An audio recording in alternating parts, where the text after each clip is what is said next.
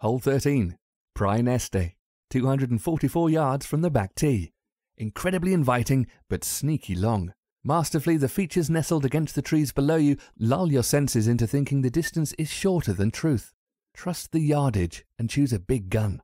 If you can't carry the ball all the way, you could try swinging it in from the right.